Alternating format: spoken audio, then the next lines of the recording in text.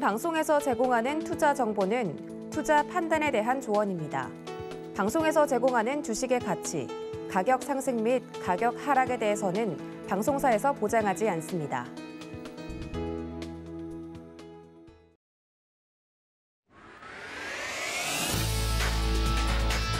시장의 중심에 있는 종목을 파헤쳐본다. 안녕하세요. 오 지금 이 종목 진행을 맡은 권민정입니다. 시장이 상승할 때도 그렇고 하락할 때도 그렇고 급등을 뿜어내는 주도주를 띠는 성격을 지닌 종목들이 있죠. 이런 종목들을 미리 발굴해서 선점을 해보는 시간 갖도록 하겠습니다.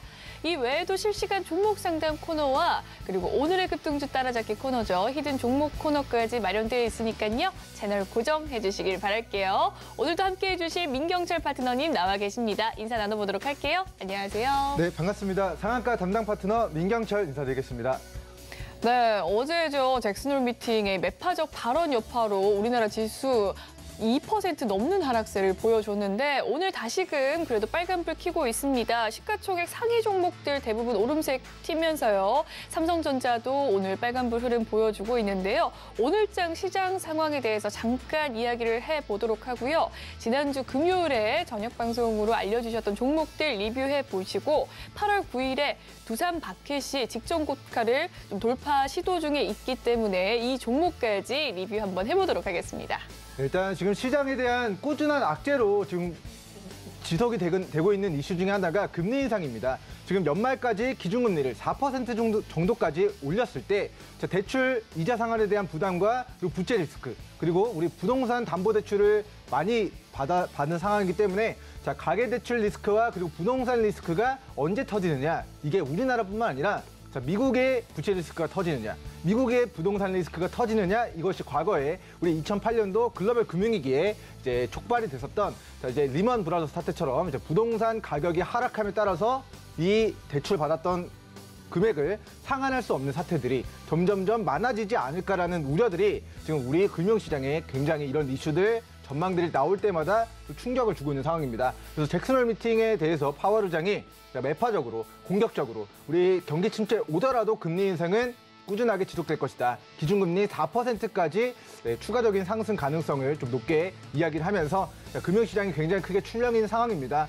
자, 그런데 우리 연말까지 금리 인상이 될 거라는 부분들은 사실 작년부터 알고 있었던 내용이기 때문에 자 올해 금리 인상 그리고 내년에 총 여섯 번의 금리 인상이 원래부터 예정돼 있었던 거라고 저는 보고 있고요. 그리고 이제 나스닥 지수가 이제 크게 무너짐에 따라 코스닥 전일자 약 3%대 좀 강한 좀 조정이 나왔지만 장전에 우리 비트코인과 암호화폐 시장은 자, 비트코인 원화 기준으로 2,700만 원을 깨지 않는 선에서 단기 저점을 찍고 반등하는 모습이 나오고 있음에 따라 자, 나스닥 지수도 우리 암호화폐 시장을 추정하면서 강보합권 정도로 네, 선물 지수가 상승 전환된 모습입니다. 그래서 오늘 우리 증시도 자, 전일자 새벽 시간 미국 증시는 조정을 받았으나 미국 선물 지수가 이제 하락폭을 멈추고 우리 반등의 상승 반전의 모습을 나, 타내고 있음에 따라 자, 우리 증시도 우리 코스피 코스닥 아침에 네, 사실 전일자 너무 크게 조정을 받았거든요.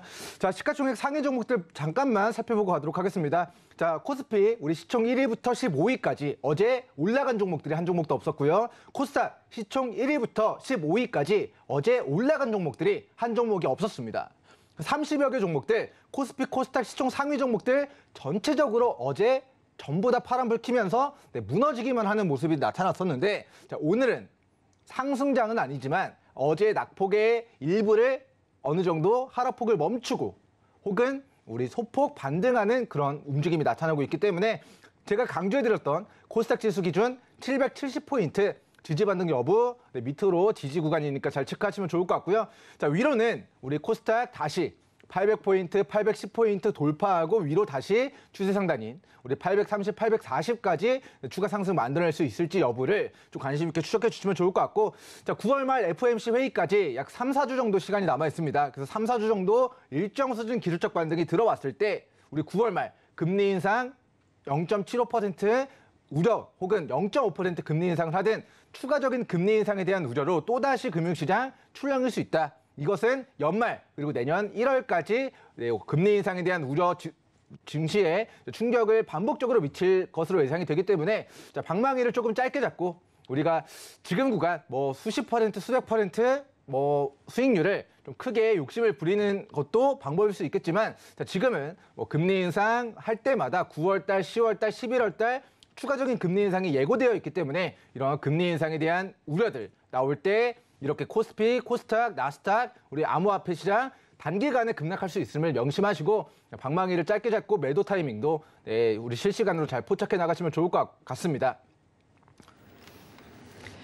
네, 오늘장 시장 상황부터 리뷰까지 이야기를 해주셨습니다. 계속해서 방송 시간 이외에도 파트너님과 함께 하시고 싶으시다면 노란 톡방 입장을 해주시면 되겠는데요. 입장 방법 알려드리도록 할게요. 문자 받는 사람 번호에 샵 0082번 눌러주신 뒤 민경철이라고 이름 적어 보내주시면 입장 방법 도와드리도록 하겠습니다.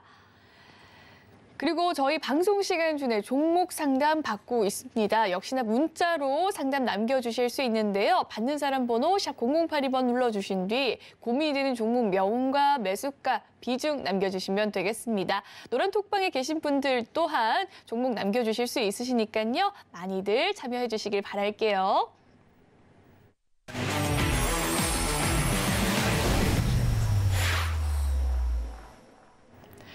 네, 오늘 바닥권에서 이제 종목을 좀 사볼 수 있는 시간 갖도록 하겠습니다. 그 전에 리뷰 종목 살펴보도록 할 텐데요. 8월 9일에 알려주신 S51 지금 직전 골파, 고가를 돌파하기 직전 상황입니다. 돌파 시도 중에 있는 상황인데 어떻게 대응하면 좋을지 추가 리뷰 전략 살펴보도록 하고요.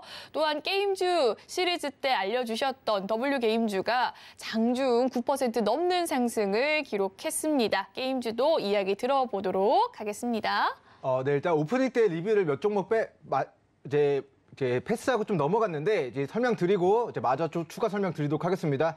자, S51 종목 같은 경우는 8월 9일에 우리가 이 종목을 굉장히 저평가 구간이다. 저평가 종목이기 때문에 일봉상 자, 추세 하단 구간에서 자, 이 저점을 깨지 않을 것이다라는 믿음을 가지고 우리 시청자분들이 저가 매수를 좀 진행해도 된다라고 좀 이야기를 드렸던 종목입니다. 자, 지금의 구간은 자, 우리 8월 9일 화요일 이후에 87,000원에서 현재가 자, 10만 7천 원 정도까지 약 20% 이상의 상승을 지금 노려보고 있는 상황이 되겠고요. 자, 이 직전의 고가를 지금 돌파 시도하고 있는 상황인데, 자, 만약에 뚫어낸다면 전고가를 뚫어낸다면 우상향 추세가 지속되는 과정에서 우리가 12만 원까지 추가 상승을 노려볼 수 있겠습니다만 자 오늘 음봉권 차익 실현 떨어지고 있는 모습이 나타난다면 우리는 익절선 구간을 저는 10만 원 제시해 드리도록 하겠습니다. 10만 원 이탈하면은 우리는 9만 원 밑에서 잡았기 때문에 우리 익절 대응하셔서 수익 챙기고 또다시 이 주식이 8만 원, 9만 원대까지 조정받고 반등하는 타이밍을 우리 시청자분들이 노려보셔야 된다라는 AS 진행해 드리도록 하겠고요. 10만 원을 이탈하지 않는 선에서만 자율적으로 수익권 네, 추가 수익권 도달하는 과정에서 네, 분할 매도 진행하셔서 네, 안전하게 수익 챙겨가는 전략 좀 취해 보시면 좋을 것 같습니다. 자 다음으로 그 다음 날 이야기를 드렸던 W 우리 게임즈라는 종목이었습니다. 자, 게임주들, 우리가 게임주 특집으로 해서 카카오 게임즈, 위메이드, 넷마블 이런 종목군들 다 수십 퍼센트의 상승을 다 안겨드렸던 종목들이죠. 자, W 게임즈는 게임주가 올라갈 때 우리 다른 대형주들 올라갈 때 올라가지 않았던 중소형 관련주고 자, 이 주식이 우리가 이야기 드렸던 구간이 8월 중순 3주차 정도 이야기를 드렸고 우리 일봉상 자, 과거의 시세를 반납한 이 추세 하단 구간에서는 즉 4만 원 초반 가격대에서는 그 밑으로 조정 시 적극적으로 물량을 바닥에서 확보를 하셔도 좋다라고 좀 이야기를 드렸던 종목이 우리 W 게임즈라는 종목이었습니다. 자, 2017년도 이후에 약 5년에 두 번밖에 오지 않았던 이 이후에 한 번 그리고 두 번밖에 오지 않았던 저가 매수 기회이기 때문에 지금 바닥에서 우리 시청자분들이 저가 매수 뒤늦게 노려보시고 자 그리고 나서 기간 반등을 노려봤을 때 정말 큰 상승을 노려볼 수 있는 종목으로 자, W 게임즈라는 종목을 8월 3주차 방송에서 좀 이야기를 드렸었는데요. 자, 오늘 장중에 자 실시간으로 플러스 거의 10% 정도, 9.92% 정도까지의 좀 상승 흐름을 좀 가져가고 있습니다. 자 오늘 같은 장 사실 10% 수익 내기가 굉장히 쉽지 않습니다. 자 아침에 상승했는데 따라 들어갔다가 막판에 지수가 빠지면 오히려 더 크게 몰리는 케이스들이 많은데 우리는 바닥에 잡았기 때문에 오늘 10%가 올라가는 이 상승을 온전히 수익으로 상승으로 네, 가져갈 수가 있었다라는 거고요. 자, 저는 개인적으로 이 주식이 재무제표가 자, 꾸준하게 매출액이 1,500억, 3천억, 4천억, 5천억, 6천억대까지 꾸준하게 영업이익과 매출액이 증가하고 있다. 회사가 성장해 나가고 있다는 것을 고려했을 때 어, 저는 동기업의 목표가가 어, 굉장히 크게 상방을 바라볼 수 있는 네, 그런 종목으로 이제 판단이 된다라는 좀 이야기를 드리도록 하겠고요. 자, 여러분들이 어차피 수익권이기 때문에 이제 보유 중인 물량은 뭐 최소 1개월에서 3개월 정도 추가 반등 노려보시면서 우리 5만 원대 정도 우리 일부 비중 추가 비중 네, 익절로 대응하시면 좋을 것 같고 그리고 나서 우리 게임 관련된 테마주들 작년 하반기 메타버스 이런 테마주 형태로 급등 나왔을 때 이 주식이 8만 원대까지도 올라갔던 과거력이 있습니다. 자, 우리는 4만 원에 잡았는데 만약에 다시 한번 행운이 터지게 된다면 자, 수익률 세 자리도 안전하게 노려볼 수 있는 구간이므로 자, 우리가 방송 보고 매수하셨던 분들은 너무 축하드리고 어, 저는 W 게임즈 8월 3주차 지금 이 종목 방송 못 봤습니다. 하시는 분들도 자, 메모해 두셨다가 나중에 동 종목이 36,000원 깨지 않고 우리 3만 원 후반에서 4만 원 구간 반등하는 그 타이밍은 여러분들이 놓치지 말고 네, 공략해 나가시면 좋을 것 같다라는 네, 리뷰 드리도록 하겠고요. 자 오프닝 때 이야기 드리지 못했던 우리 세아 스틸 세아베스틸 지주 종목들 보고 가도록 하겠습니다. 자, 저희가 지난주 금요일 기준으로 해서 네, 우리 네옴시티 관련주로 저녁 방송 유레카 종목으로 찍어드렸던 종목입니다. 자 금요일 종가에 이 주식을 관심 있게 봐야 됩니다. 왜냐하면 자 네옴시티가 우리 예전에 계획했을 때는 600조, 700조 정도의 예산을 사우디에서 투입하는 거였는데 지금은 물가도 올라가고 정말 이 구상하는 것을 실현한다라고 했을 때 못해도 1,100억에서 아 정정하, 정정하겠습니다. 1,100조에서 1,200조 이상의 자금이 필요할 것이다라고 예상되는 초대형 프로젝트가 네옴시티 프로젝트입니다. 자, 지금 사우디가 지금 고유가 국면에서 천문학적인 막대한 오일머니를 벌어들였고 이것을 대규모 인프라 투자를 단행하는 데 있어서 오늘과 내일 우리 대한민국에서 이제 인프라 관련된 네, 우리 그런 그런 어, 그 국토부 장관이 주최하는 국토부에서 주최하는 그런 컨퍼런스가 개최가 될 예정이고 자, 거기서 수많은 중동 국가들과 수많은 해외 그런 투자 담당자들이 이제 방, 방안을 해서 이 인프라 투자에 대해서 우리나라 기업들과 정부와 이제 연결을 해서 어떻게 이제 중동 국가들의 인프라에 대한 프로젝트를 진행해 나갈 것인가에 대한 부분을 이제 회의를 진행하게 될 것으로 예상이 됩니다.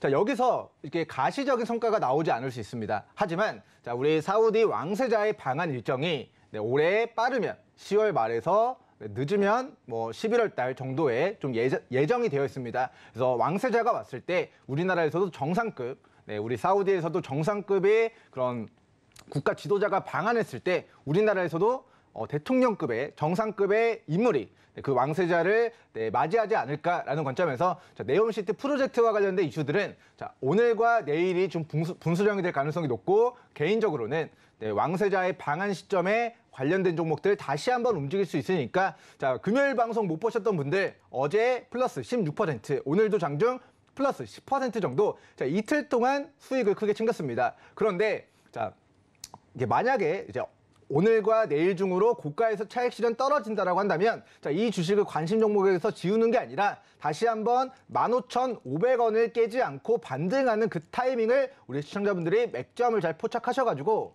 이거를 언제까지 연말 왕세자가 방한할 때까지 다시 추가 시세를 노려보겠다라는 전략을 네, 취해 보셔도 되는 종목으로 세아베스틸 지주와 그리고 그 관련된 종목들 우리 세아 특수강, 네, 세아 특수강 그리고 자, 세아 특수강도 오늘 지금 17% 정도 상승이 나왔습니다. 자, 금요일 방송 전해드리고 어제 매수 기회 주고 오늘도 장대양봉 뽑아낸 모습이기 때문에 자, 동 종목 같은 경우도 밑으로 자, 15,000원 구간 메모해 두셨다가 빠지면 반등 타이밍에 여러분들 관심 가져보시기 바라겠고요. 자, 세아 특수강과 세아베스틸 지주의 지주회사가 세아 홀딩스입니다. 그래서 세아 홀딩스 종목도 금요일에 이야기 드리고 어제 매수 기회를 주고 그리고 오늘 장중 11% 시세가 나왔는데 동 종목 같은 경우도 10만 원 구간을 깨지 않고 반등하는 타이밍이 네, 다시 한번 여러분들이 저가 매수의 기회니까 네, 우리 세아 그룹주들 세아 홀딩스, 세아 특수강 그리고 세아 세아베스틸 지주 관련된 세개 종목들 자, 네옴시티 관련주로 네, 이번 주 수익 챙기시고 10월 말 11월 초 다시 한번 네, 우리 저가에 공략해서 수익 챙기는 기회 만들어 가시면 좋을 것 같고요. 저는 그 타이밍 잘 못 잡겠습니다. 하시는 분들은 노랑톡에서 실시간 소통 진행해 가시기 바라겠습니다. 네, 저녁 방송 때 알려주신 네옴시티 관련주에 대한 이야기 들어봤는데요. 두산밥캣까지도 한번 이야기를 들어보도록 하겠습니다. 굉장히 좋은 흐름 보여주고 있는데 추가 전략이 있다면 어떤 게 있을까요? 짧게 이야기해 주시죠. 두산 마켓 같은 경우는 저희가 이제 8월 달 우리 건설주로 저평가되어 있다라고 이야기를 드리면서 우리 시청자분들에게 자, 바닥에서 관심 있게 봐야 됩니다 라고 좀 이야기를 드렸던 종목이죠. 그런데 지금 증시가 빠지고 있음에도 자, 우리 건설주들 그리고 건설 장비 관련주들 자, 초대형 그런 건설 수주 기대감, 해외 수주 기대감으로 주가가 우상향을 지속해 나가고 있습니다. 그래서 보통 종목 같은 경우도 자, 전고가를 돌파 시도하는 자리이기 때문에 3만 5천 원을 뚫어내면 그 위로 상방 3만 원 후반까지 열려 있다. 그렇기 때문에 보유자분들 추가 수익권 분할 매도 진행해 나가시면 되고요. 자, 반대로 말씀을 드리면 자, 이 직전에 고가를 뚫어낸 우리 3만 3천 원을 이탈했을 때는 다시 한번 조정 구간으로 접어들 가능성이 높으니까 자, 익절선 3만 3천 원 그리고 위로는 3만 5천 원 돌파하면은 2차 목표가 3만 8천 원까지 좀 분할 매도 진행하시면 좋을 것 같다라는 의견 드리도록 하겠고요. 동 종목 같은 경우도 실적이 굉장히 꾸준하게 증가하고 있는데 주가는 거꾸로 갔습니다. 근데 이런 종목들이 2,500개 종목들을 차트를 돌려보시면은 실적 좋아지고 있는데 주가는 반대로 간 바닥에 위치해 있는 종목들이 많습니다. 그래서 오늘 이야기 드리는 뭐 실적은 좋은데 저점에 위치한 종목들 혹은 뭐 10년, 5년 만에 최저점에 위치해 있는 종목들은 우리 시청자분들이 신규 매수 관점에서 우리 저가 매수 기회에 관심 가져오시면 좋을 것 같습니다. 네, 굉장히 많은 종목들 수익을 내주시면서 오늘 리뷰 종목 굉장히 탄탄했습니다. 리뷰, 리뷰 종목들이 굉장히 많았었는데요. 특히나 오늘자 W게임즈가 장중에 10% 가까이 상승을 하면서 좋은 흐름 보여주고 있는데요. 계속해서 올라갈 여력 있다라고 말씀을 해주시면서 5만 원권의 목표가 제시를 해주셨습니다. SO일 또한 10만 원이 이탈하지 않는 선에서는 계속해서 관심을 가져보면 좋을 종목이라고 하셨으니까요. 추가 전략 원하신다면 노란 독박 입장을 해주시면 되겠습니다. 그럼 오늘의 바닥권 종목 한번 알아볼 수 있는 시간 가져보도록 할 텐데요. 3위 종목 화면으로 먼저 살펴보시죠. 오늘의 3위 네이버입니다. 네, 3위 종목 네이버를 가지고 와 주셨습니다. 가지고 오신 이유가 어떻게 될까요? 어, 네, 일단 지금 정부에서 이제 그런 충전식으로 간편 송금을 하는 것에 대한 규제 지침이 내려오면서 네이버, 카카오, 그리고 토스 이렇게 우리 전 국민이 애용하는 그런 간편 송금 시스템을 그런 서비스하는 그런 업체들이 좀 주가의 조정이 굉장히 크게 좀 나타났습니다. 자 그리고 네이버 하면은 카카오 네이버 코스피 시총 상위 IT 관련된 종목 아니겠습니까? 이제 플랫폼 관련주고 그런데 주가를 바라보니까 차트 보면서 설명을 들어보도록 하겠습니다. 자, 과거에 주가가 46만 원까지의 큰 시세를 만들었던 종목인데 그 시작점이 저는 바로 여기라고 생각을 합니다. 이 직전에 20만 원을 뚫어내면서 돌파하면서 그 이후에 20만 원과 21만 원을 이탈하지 않는 선에서 다시 한번 주가가 40만 원대까지의 강한 상승을 좀 만들었다라고 저는 보고 있는데 자, 과거에 40만 원에서 현재가 23만 원까지. 고가 대비 마이너스 50% 이상의 좀 가격 조정을 받은 상황입니다. 자 그러면 이 밑으로 우리가 20만 원, 21만 원 구간만 이탈하지 않는다면 이 주식은 우리가 저가 매도 관점으로 대응을 해야 될까? 아니면 저가 매수의 관점으로 접근을 해야 될까라는 물음에 저는 자, 싸게 사면 수익이 날 것이요 고점에 사면 손실이 날 것이다라는 관점에서 자, 과거의 시세를 전부 다 반납한 반토막난 구간에서의 일봉상 추세 하단은 우리 시청자분들이 네이버를 저가에 좀 분할 매수할 수 있는 기회다라는 의견을 좀 전해드리도록 하겠고요. 자, 이 회사가 네, 송금과 관련된 그런 매출액에 대한 부분들보다 사실은 컨텐츠 관련된 매출액이 지금 급속도로 증가를 해 나가고 있습니다. 그래서 올해 2분기 기준으로 자, 핀테크 관련된 이제 매, 매출액의 비중과 콘텐, 콘텐츠 관련된 매출액 비중이 얼마 차이가 나지 않는데 자, 작년에는 우리 핀테크 관련된 매출 비중이 약 14%였고 올해는 14.6%였습니다. 근데 컨텐츠 관련된 매출액 비중이 전년 동기에는 동, 전년 2분기에는 약 8%였는데 올해는 13% 정도로 자, 1년 만에 매출 비중이 5% 컨텐츠 쪽에서 굉장히 급성장해 나가고 있습니다. 자, 네이버 하면은 자, 뭐 네이버 웹툰을 기반으로 해서 웹소설 플랫폼 인수해 가지고 점점점 이런 웹툰에 대한 컨텐츠들 영화하고 드라마 제작하고 하면서 매출액에 대한 부분들이 전 세계적으로 이 컨텐츠 매출액에 대한 부분이 급속도로 증가해 나가고 있기 때문에 자, 네이버 하면은 뭐 네이버 쇼핑에서의 그런 오프라인 그런 온라인, 오프라인 그런 네, 그런 commerce 관련된 매출액 비중이 22% 그리고 서치 매출 비중이 45%이긴 하나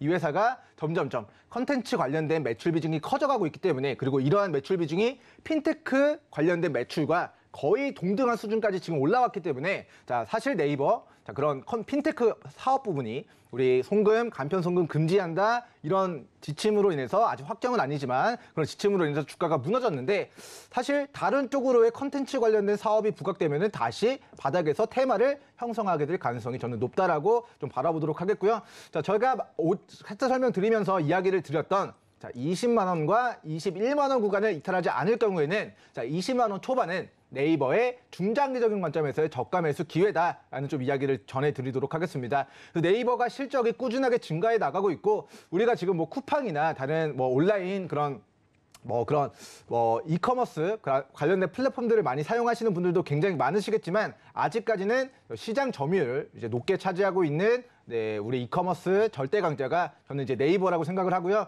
네이버가 이제 그런 서치 플랫폼 가지고 있는 부분들 그리고 우리 네이버 쇼핑을 통해서 이제 그런 이커머스 시장 이제 장악해 나가고 있는 부분들 뭐 네이버 항공이라든가 뭐 그런 예약 플랫폼들까지 어 이제 시- 산업적인 부분들 매출액이 꾸준하게 성장해 나가고 있다라는 부분과 더불어서 자, 핀테크 관련된 부분은 네, 우리가 악재로 주, 지수, 주가의 하락에 좀 반영이 된 부분이나 앞으로는 네, 빠르게 성장해 나가고 있는 컨텐츠 관련주로서의 시세에 좀 분출 예상하도록 하겠고 네이버가 제테, 제, 제페토라는 그런 메타버스 관련된 그런 그런 컨텐츠 그런 그런 플랫폼 이런 부분들도 개발해 나가고 있기 때문에 앞으로 게임 관련된 종목들, 메타버스와 관련된 이슈들 그리고 컨텐츠 관련된 이슈로 더 큰 상승을 좀 예상해 볼 수 있지 않을까라는 의견 드리도록 하겠습니다. 네, 오늘의 3위 종목 네이버 가지고 와 주셨습니다. 최근 어, 주가가 반토막 난 점이 또 이유다라고 이야기를 해주셨고 핀테크 사업 부분에서는 매출이 좀 저조한 모습이었지만 이제는 commerce와 이 컨텐츠 관련 매출이 급성장하고 있다라는 이유로 오늘 네이버 3위 종목으로 꼽아주셨습니다. 가격 라인은 2만, 20만 원에서 21만 원 이탈하지 않는 선에서 20만 원대 초반 라인 분할 매수 의 관점으로 접근해보면 좋을 종목이라고 말씀을 해주셨네요. 이제금 좀 게임과 메타버스, NFT 관련주 다시금 좀 주목을 받을 때가 되는데 어떻게 보십니까? 네, 일단 메타버스 관련된 이슈들이 사실 연말까지 금리가 계속 올라가죠. 그러면 유동성을 회수하기 때문에 큰 상승을 만들어내긴 어렵습니다. 하지만 게임 관련주들 저점에 잡았는데 수십 퍼센트 단기 시세를 노려봤었던 것을 고려한다면 네이버 또한 컨텐츠 관련주로 대세 상승, V자 반등은 아니라 하더라도 이 기간 조정 중에 우리 박스권 하단에서 단기 박스권 상단 영역대까지의 시세를 조금 안전하게 있지 않을까라는 의견 드리도록 하겠고요.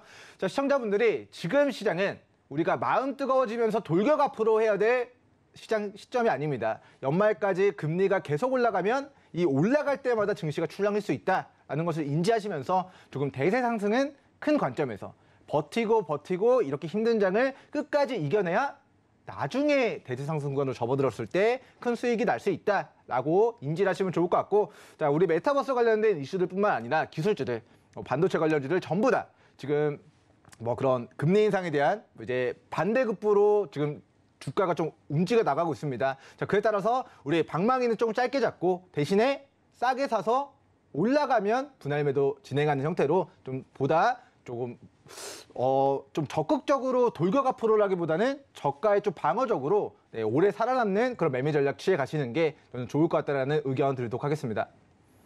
네, 배트를 짧게 잡으라고 이야기를 해 주셨는데요. 이렇게 단기적인 trading 관점에서 함께 하고 싶으시다면 노란톡방 입장을 해 주시고 저희 방송과 함께 하시면서 성공적인 투자 되시길 바라겠습니다. 그럼 3위 종목 살펴봤고요. 2위 종목 화면으로 만나보시죠.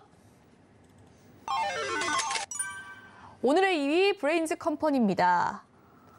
네, 브레인즈 컴퍼니 어떤 회사죠? 네, IT, IT 인프라를 통합하는 업체인데 사실 이 회사의 공모가가 자, 2만 5천 원 정도가 됐었습니다. 근데 이제 무상증자를 진행하면서 자, 공모 가격이 약 네, 12,750원 정도가 됐었던 기업인데 지금의 주가 7,000원, 8,000원까지 공모가 대비해서 약 30% 가까이 자, 할인 가격을 만들어주고 있습니다. 그래서 지수가 자, 6월달, 7월달 무너지면서 전저가를 이탈하고 낙폭을 가져갔고요. 그리고 지금은 자, 그 구간을 깨지 않는 선에서 자, 이중 바닥을 만들어내고 있는데 자, 오늘은 거래대금을 수반하면서 상승, 반전형의 캔들의 모습까지 나타나고 있습니다. 자, 그렇다라는 거는 이 회사 공모가보다 30% 할인된 가격에서 주가 7,000원에서 단기간에 9,500원 정도까지의 시세가 나왔는데 자, 이번에도 과거의 시세를 반납한 저점과 그리고 이중 바닥에서의 이 단기 상승과 혹은 우리 9,500원을 뚫어냈을 때 그 위로의 추가 상승을 노려보기 적절한 우리 종목으로 브레인즈 컴퍼니 종목을 소개시켜 드리도록 하겠고요. 자, 소- 즉 저는 손익비가 괜찮은 종목이다라는 좀 의견을 드리도록 하겠습니다. 자, 만약에 그리고 폭등한 고점에서 5% 10% 수익 내려고 잠깐 잘못 들어갔다가 물리면은 이게 5분의 1 토막 납니다. 마이너스 5%가 아니라 마이너스 80% 손실이 날 수 있습니다. 그런데 반대로 우리 바닥에서 손절 잘 잡고 기간 보유했을 때 이 시세가 밑으로 5% 10% 손절 감소하는 것에 비해서 위로는 자, 10%, 20%, 30%그 이상의 상승도 충분히 노려볼 수 있는 자, 밑으로는 하방, 안전벨트, 손절가 대응해야 되겠지만 위로는 상방이 굉장히 크게 열려 있는 종목으로 우리 브레인즈 컴퍼니 종목 오늘 지금 바닥에서 미리미리 네, 우리 시청자분들이 관심 있게 봐야 된다 두 번째 종목으로 소개해 드리도록 하겠습니다. 네, 이중 바닥 구간에서 현재 좀 저평가된 종목이다라고 말씀을 해주셨습니다. 오늘의 2위 종목 브레인즈 컴퍼니 가지고 와 주셨는데요. 가격 라인 더 정확하게 알고 싶으시다면 노란 톡방 입장해 주시면 되겠습니다. 그럼 오늘 대망의 1위 화면으로 만나보시죠. 오늘의 1위 종목은 웹젠입니다. 네, 웹젠은 어떤 기업인가요, 마테너님? 네, 웹젠은 이제 뮤 온라인이나 이제 R2 이런 이제 모바일 게임과 이제 모바일 게임의 그런 IP를 활용해서 만든 이제 모바일 게임을 출시하는 그런 업체가 되겠습니다. 뭐 중국 시장에 대한 진출을 꾸준하게 이제 포부를 밝히고 있는 기업이 되겠는데 사실 중국에서 게임 판호 승인을 잘 안 해주고 있죠. 그래서 중국에 대한 시장이 열리게 되면은 우리나라 게임주들 다시 한번 테마주로 형성이 될 수 있다라는 좀 장기적인 비전도 좀 제시해 드리도록 하겠고요. 동사의 이제 연, 연간 기준 재무제표를 쭉 꾸준하게 살펴보니까 자, 우리 2020년도까지만 해도 매출액 500억이 안 되던 회사가 우리 작년 기준으로 매출액 2,800억, 영업이익 1,000억 원 정도를 달성하면서 자, 시가총액 6천억 대비해서 우리 게임사의 그런 매출액과 영업이익적인 부분들이 자, 꾸준하게 성장을 해 나가고 있다라는 것을 확인할 수가 있을 것 같습니다. 그래서 올해도 이 회사가 돈을 한 800억에서 1,000억 정도를 벌었을 때 이 회사의 기업 가치는 저는 18,500원 정도가 된다라고 저 개인적으로 좀 분석을 하고 있습니다. 자, 18,500원 정도가 연말 기준으로 이 회사의 기업의 청산가치 영역인데 지금 가격은 저- 연말 기준, 12월 기준 청산 가치보다 빠져있다라는 거는 저는 저평가 구간으로 접어들었다라는 좀 이야기를 드리도록 하겠고요. 자, 실적이 500억이 안 되던 회사가 5배 이상 외형 성장을 하고 영업이익도 800억에서 1000억 정도 매년 꾸준하게 영업이익을 내고 있는 게임 회사가 앞으로 자, 중국 시장이 열린다 혹은 뭐 게임 신작 출시한다 뭐 이런 모멘텀들을 가지고 바닥에서 자, 강하게 V자 반등은 이루어내지 어렵겠습니다만 자, 여기서의 천천한 시세로 U curve 구간의 반등을 우리는 충분히 자, 노려볼 수 있는 종목으로 웹젠 종목 소개시켜드리도록 하겠고요. 자, 이 종목 같은 경우는 작년 하반기 자, 메타버스와 관련된 이슈로 상승한 게 없습니다. 우리가 사- 과거에 4월 달 이후에 우리 5만 원 고가에서 최근 저가 2만 원 밑으로 거의 뭐 마이너스 60% 이상 가격 조정을 받은 상황이고요. 이 바닥에서의 기간 조정만 마무리가 됐을 때 즉 바닥에서 매집만 완료가 됐을 때 그 위로의 상승은 우리가 밑으로 손절 조금 잡고 대응하는 것에 비해서 우리 시청자분들이 정말 큰 상승 시세를 누려볼 수 있는 게임 관련주 웹젠 소개를 시켜드리도록 하겠고 자, 저평가 관련주 그리고 게임 관련주로서의 그런 실적이 꾸준하게 증가해 나가고 있는 기업으로 자, 웹젠 종목 소개시켜드리도록 하겠고요. 자, 실적이 증가하고 있는데 주가는 오히려 마이너스 60% 이상의 이제 거꾸로 가는 그런 네, 이상한 기이한 현상을 보였다라고 한다면 자, 이제부터는 우리가 손절가 네, 짧게 잡고 위로의 천천한 우리 시간을 사는 그런 매매 전략을 취하기 적절한 종목으로 웹젠 종목 소개시켜 드리도록 하겠습니다. 네, 오늘의 1위 종목은 바로 웹젠이었습니다. 오늘 3위부터 1위 종목들 상대적으로 좀 소외받았던 성장주들 가지고 와주셨는데요. 뭐 네이버를 비롯해서 IT 플랫폼 관련주 그리고 또 반도체, 어, 게임 관련주들, IT 관련주들 이야기를 해주셨습니다. 어, 바로 V자 반등을 나타내지는 못하겠지만 그래도 U자 반등으로서 바닥권에서 사볼 수 있는 종목 가지고 와주셨으니까요. 추가적인 전략 더 궁금하시다면 노란톡방 입장 을 해주시면 되겠습니다. 그럼 이 종목, 세 종목 화면으로 살펴보시고요. 저희는 종목 상담 코너로 돌아오도록 할게요.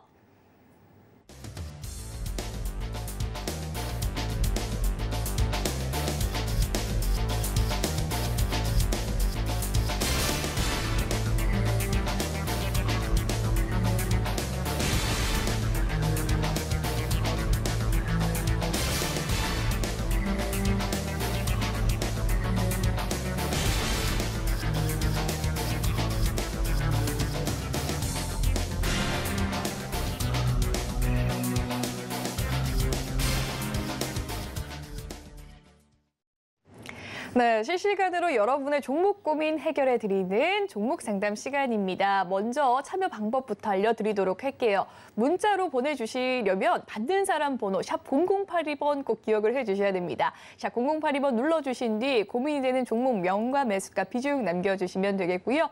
노란톡에 계신 분들 노란톡에서도 문의를 받으니까요. 많은 참여 부탁드리도록 할게요. 그럼 첫 번째 상담 이어가 보도록 하겠습니다. 첫 번째 상담은 노란톡에서 문 의해 주신 상담인데요. 재룡전기에 대한 고민을 가지고 계신다고 합니다. 재룡전기 매수 가격은 9,448원, 비중 5% 담고 계신다고 하는데요. 오늘자 가격 한번 살펴보도록 하겠습니다. 1.8% 하락을 하면서 재룡전기 현재 가격 8,000원 초반대를 지나가고 있습니다. 매수가 대비 좀 많이 하락을 한 상태인데 어떻게 대응하면 좋을지 파트너님 연결해 드리도록 할게요. 어, 네, 일단 우리 주식을 어, 이제 살고자 하면 죽을 것이요, 죽고자 하면 살 것이다라는 말을 변형해서 자, 고점에 사면 손실이 날 것이요, 저점에 사면 수익이 날 것이다. 라고 계속 강조를 해드리고 있는데 자, 못 참고 거래대금 터질 때 최고가에서 좀 추격 매수를 하신 것으로 추정이 됩니다. 자, 이 주식 같은 경우는 자, 우리 지표 추가해서 보조지표 RSI 보조지표를 추가해 봤을 때 자, 어디서 매수하기 좋은 구간일까? 과거의 시세를 반납한 과매도 구간에서의 저점과 그리고 이중 바닥을 다지는 자 4,000원 초중반 가격에서의 이 주식의 저가 매수 기회를 주었다라고 생각이 됩니다. 그 이후에 4,000원짜리가 100% 시세가 나왔어요. 근데 여기서 3% 5% 수익 내려고 9,400원에 잘못 들어갔다가 물리면 수십 퍼센트 그냥 물리는 거고요. 자, 여기서 또 차익 실현 떨어진다 하면은 그 밑으로 하방이 저는 자, 5,000원에서 4,000원 중반까지 열려 있다라고 보고 있습니다. 그래서 저는 개인적으로 자, 패배 아픕니다. 손실 아쉽습니다. 하지만 7,900원 이탈하면은 비중 정리하시고요. 그리고 7,400원 구간 마지노선 대응하셔가지고 자 과거의 한계점이었던 구간을 거리대금을 수반하면서 뚫어냈기 때문에 앞으로는 7,900원과 7,400원이 현 시점 주요한 지지선이다. 그렇기 때문에 7,900원, 7,400원 이탈했을 때 네, 우리 비중 조절과 손절로 대응하는 전략을 좀 취하시는 거 공고 드리도록 하겠고요. 자 그러면 손절 치면 이 종목 관심 종목에서 삭제냐? 아닙니다. 자 주요 지지선을 이탈하고 만들어진 과매도 구간에서의 구간이 10만 불짜리 매수 타점이라고 생각을 하고요. 자, 이 구간을 깨지 않는 선에서 만들어지는 이중 바닥, 삼중 바닥은 자, 100만 불, 1000만 불짜리 매수 타점이라고 생각이 됩니다. 그러니까 자, 100% 이상 시세가 나온 이 시세를 다 반납한 4,500원, 5,500원 가격에서는 우리 시청자분이 자, 복수전의 기회를 바닥에서 다시 누려보셔도 된다라는 의견 드리도록 하겠고요. 자, 사실 이 종목이 뭐 전기 관련주, 송전 관련주 이런 쪽으로 뭐뭐 대북 송전 관련된 이슈로 좀 부각이 된 과거력이 있는데 자, 외교적인 부분이라 이 회사의 실적과는 무관한 부분이라 자, 언제 또다시 남북 경협주로 부각이 될지는 잘 모르겠습니다. 하지만 자, 과거의 차트를 보도록 할게요. 자, 2018년도 당시에 자, 우리 문재인 전 대통령과 김정은 위원장이 판문점에서 만나서 3월 달에 악수하고 우리 5월 달 트럼프 대통령과 김정은 위원장이 만나서 악수할 때, 자, 이 회사 주가가 5천 원에서 단기간에 2만 원까지 실적 기반하지 않고 대북 송전 그리고 남북 경협주로서의 시세가 4배 분출이 나왔던 종목입니다. 그러니까 자, 낮은 가능성으로 외교적인 부분들이 좀 테마주로 좀 부각이 될 수 있는 남북 경협주다라고 보시면 좋을 것 같고요. 자, 어찌됐든 간에 이 주식은 현재 기준으로는 과거 2만 원에서 3천 원까지 시세가 무너졌고 이 3천 원 구간에서 기- 가격 조정을 오랜 기간 동안 박스권 등락을 가져가고 있다는 관점에서 자, 지금 박스권 상단 차익 실현 떨어지면 그 다음 하방은 자, 4,500원까지 낙폭을 우리가 염두를 해야 되기 때문에 자 9,400원에서 4,500원까지 만약에 빠진다면 반토막이기 때문에 주요한 지지선 대응하셔서 네, 우리 소중한 투자 원금 잘 지켜나가는 전략 취해 가시면 좋을 것 같고요. 자 만약에 낮은 가능성으로 네, 우리 직전의 고가를 뚫어낸다 한다면 저는 본전에서 절반 이상 비중 정리하시고 자 만 원 중반 만 원 초반 가격대 만 원에서 한 만 천 원 정도 가격대에서 전량 좀 익절 관점으로 대응하시는 게 좋을 것 같은데 자 그 가능성은 개인적으로는 자, 남북 경협주로서의 모멘텀이 나오지 않으면 자, 이 9,400원을 뚫어내기는 쉽지 않을 것 같다. 라는 좀 이야기를 드리도록 하겠습니다. 자, 그리고 아직까지는 그런 이제 그런 뭐 북한과 우리나라의 그런 화해 무드 뭐 이런 부분들에 대한 기대감이 좀 높아질 만한 모멘텀이 저는 부재한 상황이라고 생각이 되기 때문에 정말 뭐 과거처럼 만나서 악수하고 개성공단 다시 재가동해야 된다 뭐 이런 정책들이 나오면은 관련된 테마주 수혜주로 좀 부각이 될 여지가 있겠습니다만 지금은 그냥 기술적인 관점에서 저는 네, 우리 본전 오면 청산 관점으로 그리고 7,900원, 7,400원 깨지 않는 선에서만 네, 반등 노려보시고 네, 출구 전략 세워보시면 좋을 것 같습니다. 네, 재룡 전기에 대한 상담 도와드렸습니다. 손절 가격을 제시해 주셨는데요. 7,900원에서 7,400원 잊지 마시길 바라겠습니다. 다시금 좀 추가 매수를 할 수 있는 구간, 신규 매수의 구간은 4,500원에서 5,500원이었으니까요. 관련해서 조금 더 궁금하신 부분 있으신다면 노란 독방 입장을 해주시면 되겠습니다. 네, 입장을 하신 어, 분이셨네요. 노란 독문이었으니까요. 계속해서 추가 전략 세워가시길 바랄게요. 첫 번째 상담 여기서 마무리 짓도록 하고요. 두 번째 상담 넘어가 보도록 하겠습니다. 문자 상담입니다. 8606님께서 보내주신 삼성 엔지니어링에 대한 상담인데요. 매수 가격은 2만 500원, 비중 10% 담고 계신다고 합니다. 네, 삼성 엔지니어링 오늘의 가격 살펴보니까요. 2.3% 상승을 하면서 현재 가격 2만 4천 원 지나가고 있습니다. 매수 가격 대비 굉장히 큰 상승을 나타내고 있는데요. 이 실력자이신 것 같습니다. 언제 익절하시면 좋을지 궁금하실 테니까요. 얼른 파트너님 넘겨드리도록 할게요. 네, 우리 삼성 엔지니어링 자 일봉상 고가에서 박스권 등락이 지속이 되어 가고 있는 종목입니다. 자 그렇기 때문에 다시 한번 우리 18,000원, 2만 원 초반까지 빠지면 거기가 다시 매수하셔도 좋은 구간이니까 지금의 구간은 24,000원에서 27,000원까지 분할 매도 진행해서 익절 관점으로 대응해 주시면 좋을 것 같고요. 자, 익절선 저는 23,000원 제시해 드리겠습니다. 자, 23,000원을 이탈하더라도 이 수익을 챙겨주시고요. 23,000원을 이탈하지 않고 반등이 나온다면은 더 높은 유리한 가격인 24,000원에서 27,000원까지 올라가는 과정에서 분할 매도 대응 권고 드리도록 하겠습니다. 이 주식이 과거로부터 이 27,000원과 우리 28,000원 구간이 과거에도 차익 실현 떨어지고 차익 실현 떨어지고 또 떨어지고 또 떨어졌었던 구간입니다. 자, 27,000원 뚫어내고 3만 원 갈 거다. 4만 원 갈 거다. 이런 부푼 희망보다는 자, 특별한 호재 발생하지 않으면서 거리대금 터트리면서 뚫어내지 못하는 그림이라고 한다면 자, 2만 7천 원이 이 주식에 매도하기 좋은 과거 이력이 있는 종목이니까 과거 차익 실현 떨어지고 떨어지고 떨어지고 떨어졌었던 구간을 우리는 매도 타이밍으로 미리미리 예상하시고 나는 2만 4천 원, 2만 7천 원 영역에서 분할 매도를 쳤다가 또 빠지면은 바닥에서 2만 원 초반에 다시 잡겠다라는 매매 전략 취하, 취하시면 네, 좋을 것 같다라고 의견 드리도록 하겠고요. 수익 축하드리겠습니다. 네, 현재 매수 타이밍 굉장히 잘 잡으신 것 같습니다. 지금의 라인이 분할 매도의 타이밍이라고 말씀을 해주셨고요. 2차 분할 매도 라인 2만 7천 원 제시해 주셨습니다. 다시금 2만 원 초반대로 떨어진다면 또 추가 매수를 하셔도 좋다라고 말씀을 해주셨으니까요. 유념해 주시길 바랄게요. 두 번째 상담 네, 마무리 짓도록 하겠습니다. 세 번째 상담 넘어가 보도록 할게요. 역시나 문자 상담입니다. 9520님께서 보내주신 가온칩스에 대한 상담인데요. 매수 가격 은 26,130원 꼼꼼하게 남겨주셨고요. 비중은 20% 담고 계신다고 합니다. 오늘자 가온칩스 가격 한번 살펴보면 강보합권에서 거래가 되면서 21,650원 올라온 상황인데요. 어떻게 대응하면 좋을지 궁금하실 것 같아요. 파트너님 도와드리도록 하겠습니다. 네, 일단 이, 이 신규 선정 종목들은 이제 발행된 부분들 언제 이제 물량이 풀리게 되는가를 좀 관심 있게 좀 추적을 해봐야 될 필요가 있을 것 같습니다. 자 잠시 화면 보면서 좀 설명을 들어보도록 할게요. 이 회사가 자, 공모가가 지금 얼마였냐면은 자 상장 정보 일정을 우리가 바라봤을 때 상장 정보 일정 체크를 해봤을 때자 제가 잘못 눌렀네요. 자 우리가 앱클론이 아니라 자 종목이 네, 가온 칩스라는 종목이고 자, 가온 칩스 종목의 이제 공모가가 14,000원입니다. 근데 지금 주가가 21,000원이에요. 즉, 공모가보다 주가가 높다라는 거는 공모가의 물량이 풀렸을 때 주가가 하락할 가능성이 있다는 것을 의미합니다.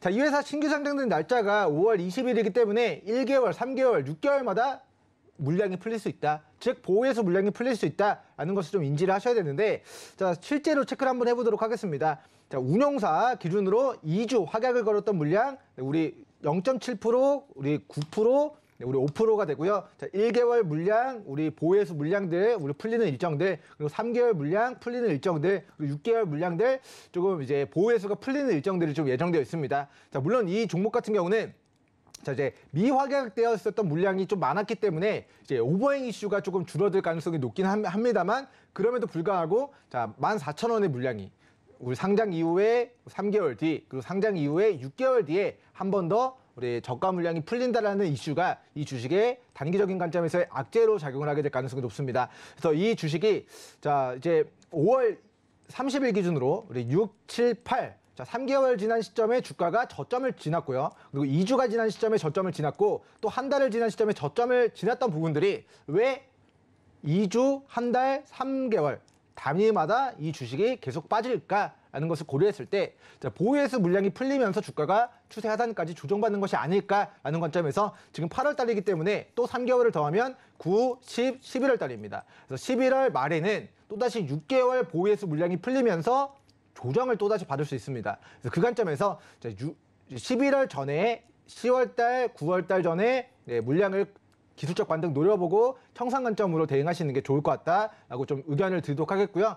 자, 공모가가 14,000원이고 이 회사 이제 재무제표에 대한 부분들이 사실은 네, 우리 재무제표에 대한 부분들이 사실은 시가총액 대비해서 아직까지는 네, 뭐 정상적으로 정상 궤도로 좀 접어들었다라고 좀 보기는 어려울 것 같습니다. 그래서 우리 가온칩스가 실적에 무관하고 신규 상장 종목으로서의 어느 정도의 이제 valuation을 평가받고 있지만 저는 고평가 구간이라고 사료가 되고 저는 개인적으로 2만 500원을 이탈하면은 저는 비중 축소 의견 드리도록 하겠고요. 가능한 공모가 금방인 14,000원까지 빠지고 여기서 반등이 나올 때 새롭게 만들어지는 저점에서 제공약 관점으로 대응하는 전략 그리고 우리 11월 전에 즉 6개월 보호해서 물량이 풀리기 전에 올라왔을 때 저는 26,000원 올라오면 청산하시고 저평가되어 있거나 더 바닥에 위치한 종목들 네, 위주로 좀 매매 진행해 나가시는 게 안전할 것 같습니다. 네, 가온칩스에 대한 상담 도와드렸습니다. 신규 상장주로서 보호예수 물량이 풀린다라는 점 꼭 기억을 해주시면 좋을 것 같습니다. 11월 전에 좀 매수가 가격까지 올라와 주신다면 또 평단가 좀 입절을 해주시면 좋을 것 같고요. 공모 가격이 14,000원이었다는 점 또 주목해 보시면 좋겠고 25,500원 이탈할 시에 손절가를 제시해 주셨습니다. 가온치스에 대한 상담 여기까지 마치도록 하고요. 다음 상담 넘어가 보도록 할게요. 네, 다음 상담은 3952님께서 보내주신 문자 상담입니다. BL 팜텍에 대한 고민 가지고 계신데요. 매수 가격은 1,363원, 비중 5% 담고 계신다고 합니다. 오늘 가격 팜텍을 한번 살펴보니까요. 강보합권에서 거래가 되고 있긴 하지만 가격이 현재 876원 지나가고 있습니다. 어, 매수 가격 대비 많이 떨어진 상태인데요. 어떻게 대응하면 좋을지 파트너님 연결해 드리도록 하겠습니다. 네, 우리 BL 팜텍 종목 같은 경우는 사실 3개년도 연속 좀 적자를 기록하고 있습니다. 자, 사명이 과거에는 넥스트 BT라는 기업이었고 지금은 자, BL 팜텍으로 상호를 변경했습니다. 자, 과거에 발행된 우리 전환사채 전환 청구된 가격이 1,800 1,380원인데 자, 그 직전의 저가와 주요 지지선을 이탈하면서 최근 네, 우리 단기적으로 반토막 정도 추가 조정을 좀 받은 상황입니다. 그래서 지금의 구간은 자, 연말까지 흑자 전환에 성공하느냐, 마느냐로 관리 종목 지정되느냐, 마느냐에 대한 이슈가 좀 발발이 되게 될 것으로 예상이 되고요. 자, 기업 분석 들어가서 대주주가 지분을 얼마나 들고 있는가 보니까 자, 대주주 우리 BL이라는 회사가 자, 지분 26%를 가지고 있는 우리 코스닥 기업입니다. 우리 코스닥은 상장 규정상 4개년도 연속 적자를 기록하면은 관리 종목으로 지정이 될 수가 있습니다. 그런데 이 회사가 자, 2019년도 적자, 2020년도 적자, 2021년도 적자를 기록을 했고요. 자, 1분기에 이제 흑자 전환을 이루어낸 모습입니다. 그래서 만약에 올해 12월까지 자, 적자를 기록했으면은 관리 종목 지정 사유이기 때문에 내년 연초에 한 번 더 주가가 급격하게 무너질 가능성이 높은데 자, 그나마 1분기 흑자 전환에 성공을 했다라는 것을 우리가 좀 확인해 볼 수가 있을 것 같고요. 자, 이 회사가 건강기능식품 만드는 회사이기 때문에 이 건강기능식품 판매와 관련해서 얼마나 흑자 전환을 이뤄낼 수 있을지를 연말까지 좀 추적해야 될 필요가 있을 것 같고요. 자, 이 회사 재무제표를 좀 보고 가도록 하겠습니다. 자, 1분기 기준으로 영업이익 흑자 전환을 기록했다라고 좀 이야기를 드렸는데 자, 보니까 2분기에는 또 적자를 기록하면서 반기상 약 7억 원에서 8억 원 정도의 적자를 기록했습니다.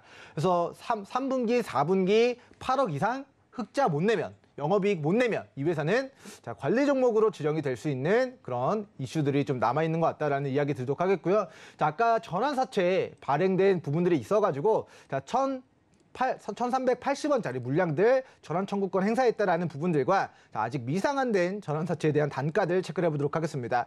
자, 아직 이 회사는 자, 전환사채 가 남아 있습니다. 어느 정도 남아 있느냐? 자, 228억 원 정도의 전환사채가 남아 있고 이 물량은 자, 만기일이 자, 24년, 25년, 26년입니다. 그래서 이 단가가 900원에서 1200원 정도가 되기 때문에 자, 이 물량들 100, 100 억에 1000원, 1000원 정도, 자, 55억에 1300원 정도, 60억에 1200억 정도 고려했을 때 대략적인 평단가가 1100원에서 1200원 정도가 됩니다. 그러면 지금의 단가는 자, 1000원이 안 되죠. 그럼 이 사주들의 평단가보다 낮다라는 것을 의미하는데 자, 이 전환사채가 우리가 공시를 좀 체크를 해봐야 되는데 자 얼마까지 전환사채 가격이 낮아질 수 있을 것인가는 우리가 공시 분석을 전부 다 체크를 해봐야 됩니다. 그래서 보시면은 자 전환가액을 1,300원짜리를 900원으로 낮췄습니다. 시가 하락에 대한 전환가액의 조정이라고 하면서 이 225억의 큰 손들의 단가를 1,100원, 1,200원 정도 됐었던 물량을 1,000원 밑으로 낮춰가는 작업을 지금 진행하고 있다라고 보시면 좋을 것 같고요. 자, 우리 관련된 우리 전환사채 공시를 살펴보고 가도록 하면은 자, 이 최저 이제 최저 그 조정 가액이 기재가 되어 있습니다. 차, 우리가 좀 내려가서 보도록 하면은 자, 최저 조정 가액이 우리가 중요한 부분이라서 체크를 해 보면은 자, 전환 가액이 1,400원이고 여기는 최저 조정 가액이 지금 여기 공시상으로는 좀 나와 있지가 않은데 제가 노랑톡에서 다시 한번 문의 주시면은 최저 조정가액이 얼마인가를 좀 판, 다시 분석해서 좀 이야기를 드리도록 하겠습니다. 그래서 지금의 구간은 이제 225억의 전환사채 전환가액을 낮춰가는 과정이고 이 물량은 24년, 25년, 26년이 만기기 때문에 그 전의 물량을 네, 저- 주식으로 전환 청구해서 들어올리는 그림이 그려지게 될 텐데 그 재료와 모멘텀은 아직 공개가 되지 않았다라는 관점에서 지금의 구간은 우리 800원, 840원 지지선 대응하시고 우리 앞으로 2024년에서 2026년 전환사채 만기까지 그들의 물량을 정리해 나가는 그림이 그려질 것이다 라는 관점에서 좀 중장기 보유적, 보유하는 전략을 좀 취해 가시고 자 800원, 840원 이탈하지 않고 반등할 때는 네, 추가 매수도 좀 고려해 보시면 좋을 것 같다라고 의견 드리도록 하겠습니다. 네, 여기까지 상담 마무리 짓고 저희는 다음 코너 hidden 종목 코너로 돌아오도록 하겠습니다.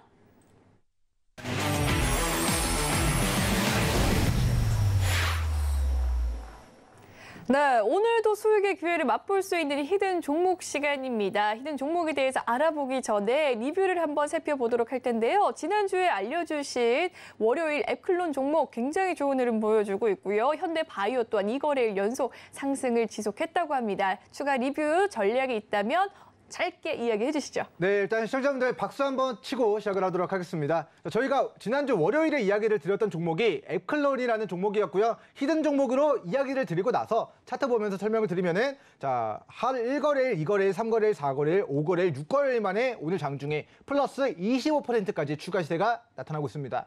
자, 우리는 일주일 전에 잡았어요. 앱클론이라는 종목을 거리대금을 터지면서 주요 매물을 뚫어낼 때 대시세 초입입니다. 라고 노랑톡 입장에 계신 모든 분들에게 관심 종목 설정해 드렸고 방송에서도 관심 있게 봐야 됩니다. hidden 종목으로 저격을 해 드렸던 종목입니다. 자, 이 종목 차트 보시면은 바닥인가요? 아니거든요. 자, 대바닥 구간에서가 아니라 대바닥에서 고개를 들기 시작할 때 수급이 붙었을 때 주요 매물을 뚫어내는 돌파 슈팅 자리를 만들었을 때 우리 시청자분들에게 관심 있게 봐야 됩니다. 지난주 월요일에 이야기를 드렸던 종목이고 오늘 제가 상한가 담당 파트너라고만 인사를 드렸는데 자 오늘 상한가를 잡아내게 되면은 제가 오후장 마감에서는 상한가를 잡아낸 상한가 담당 파트너 민경철로 다시 오후 인사를 좀 올릴 수 있도록 우리 에클론 종목이 상한가 가는지 여부를 관심 있게 추적해 주시면 좋을 것 같고 뭐 분할로 수익 잘 챙겨가시면 좋을 것 같습니다. 자 우리 지난주 종목들이 오늘 대체적으로 전방위적으로 상승하고 있는데 그 중에서도 오늘 현대바이오가 장중에 11%의 시세가 나왔습니다. 지난주 금요일에 이야기를 드렸던 종목이고 이 종목도 자 바닥에서 관심 있게 봐야 됩니다. 이야기를 드렸던 게 아니라 가격 조정 이후에 우리가 수급이 들어오면서 직전의 고가를 뚫어내는 대시세 초입의 구간으로 접어든다라고 이야기를 드리면서 지난주 금요일에 이야기를 드렸고요. 어제 장중 6% 그리고 오늘 장중 11%까지 이거래일 만에 단기 시세를 왜 뜨겁게 우리 시청자분들에게 안겨드린 종목이 현대바이오 그리고 지난주 월요일 종목 앱클론 종목이었다라는 이야기 드리도록 하겠고요. 자, 종목 상담 제가 좀 말이 길어져가지고 hidden 종목까지는 공개가 안 될 것 같습니다. 하단 노랑톡에서 우리 hidden 종목 그리고 오후장 오후 2시에 대시세 초입에 위치한 종목군들까지 공유를 드릴 예정이니까 함께 하셔서 제2의 상한가, 제2의 앱클론과 제2의 현대바이오 종목까지 함께 관심 종목 받아가시기 바라겠습니다. 네, 지난주에 알려주신 앱클론과 현대바이오 굉장히 좋은 흐름 보여주고 있습니다. 지수가 하락함에도 불구하고 어, 상한가를 달성해 가는 모습을 보여줬는데요. 이러한 종목군들 발굴하고 싶으시다면 노란톡방 입장해 주시면 되겠고요. 오늘의 히든 종목 또한 노란톡에서 공개가 되니까요. 많은 참여 부탁드리도록 하겠습니다. 문자 받는 사람 번호 샵 0082번 눌러주신 뒤 민경철이라고 이름 적어 보내주시면 입장 방법 도와드리도록 할 테니까요. 많은 참여 부탁드릴게요. 본 방송에서 제공해 드리는 정보는 투자 판단을 위한 조언일 뿐 해당 주식의 가치와 수익률을 보장해 드리진 않습니다. 그리고 서울경제TV는 개인정보보호법을 준수하는데요. 상담 접수 시에 수집된 개인정보 별도의 동의 없이 사용되지 않음을 알려드립니다. 오늘 준비한 방송은 여기까지고요. 저희는 내일 11시 생방송으로 다시금 찾아뵙도록 하겠습니다. 시청해주신 여러분 고맙습니다.